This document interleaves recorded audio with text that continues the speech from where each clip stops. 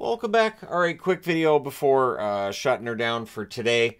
Um, also wanted to say for people who enjoy watching the, the videos from the meetups, uh, our next meetup will be in Chilliwack. So if you're going to be in the Chilliwack area on July the 15th, that's also my wedding anniversary. So what better thing to do on your wedding anniversary than play street hockey? Anyways, um, so there's some interesting reporting that's out there regarding some some free agent stuff and some trade stuff. So first off, Shayna Goldman's the only one reporting that I can find so far on this, but she's saying that Tarasenko's headed to the Carolina Hurricanes. Now this might be held up a little bit because they're also trying to move money. Pesce's likely on his way out, so we'll see if there's a Pesce trade and then Tarasenko gets signed but I think that's the plan. And of course, there's a team not far from me in Vancouver that likely would be very interested in Mr. Pesce, but they also don't have cap space. So we're right back where we were before free agent period opened.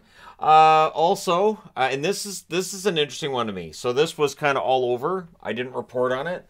Uh, that John Gibson reportedly had said that he will not play another game in Anaheim. That's it. I'm done.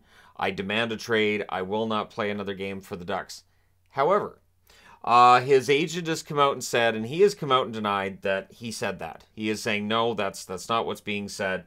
And so this is this is where we're at right now with things between uh, the Ducks, Gibson, and media, right? So media is reporting on things, uh, and and it's similar to it's not on the board, but DeBrincat's agent has come out and said that uh, if there's not a trade that's being made, it's not him and and DeBrincat that have had the issue. It's Dorion not being able to make the trade that's been the issue.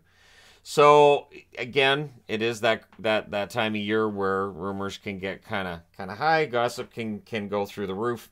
Uh, I I cannot see Gibson saying I flat out refuse to report. I I can't see it.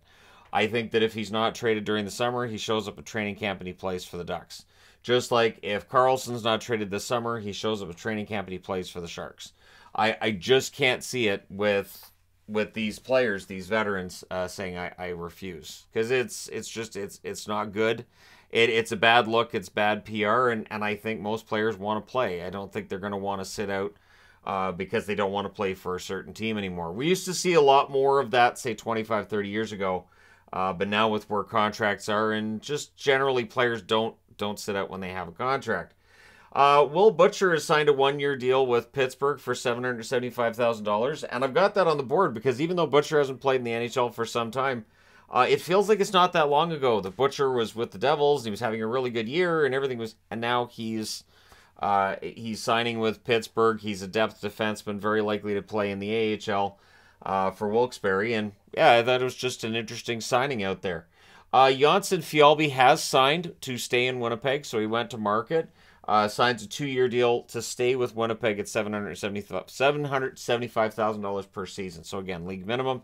Uh, Jonsson Fjallby, I thought was a solid fourth-line option for Winnipeg after he arrived, and I'm glad to see that they re-signed him. I've actually been been impressed with what Winnipeg's done so far in the offseason. Obviously, there's a Hellebuyck question still out there, the Scheifele question still out there, and there's various others that you know may end up being on their way out of town but it does feel like the Jets are doing a pretty good job of keeping a competitive team. And if they're not in the playoffs, they should be in the mix. Uh, and I, I really do think they'll end up being a playoff team this coming season. At least I hope so. Uh, I think the Jets uh, have had a, a, a, decent run over the last five six years, and so yeah, uh, we'll see if that if that continues. Now, of course, playoff success has been elusive at points, but uh, I do like the team a lot. We'll see what happens with Hellebuyck, what happens with Scheifele, and what they get back. Maybe Gibson for Hellebuyck. We'll throw that out there, right? Uh, cap wise, I think that works. And there you go. And then we'll see we'll see what other rumors come out of that after. Anyways, uh, so yeah, I'll just throw that out there. Uh, Harvey Pinard has signed a two-year extension with the Montreal Canadiens for 1.1 million dollars per season. I love this signing. Harvey Pinard was very good for Montreal after he came up. I thought his play was fantastic. Uh, I'm a big fan of his. I think it's too bad they didn't keep Anthony Richard. I think with the last name Richard, he belongs in Montreal. But Harvey Pinard staying makes a lot of sense. And for them to to get him signed to a, a good cap hit, I think there's some upside there with Harvey Pinard offensively. We'll see how it turns out. But if if that doesn't turn out to be the case, yeah, they're still in pretty good shape.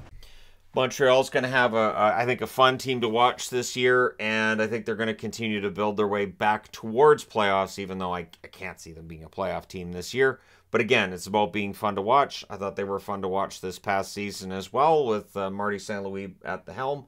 And uh, yeah, uh, I think Harvey Pinard uh, could end up being a pretty solid third liner and maybe a little bit of top six upside again for the fact that Montreal is going through the rebuild right now. But let me know your thoughts in the comment section below as always. Don't forget to hit like and subscribe if you're browsing your way through. You just happened upon this video. Thank you guys so much for watching, for all your support. I will talk to you again soon.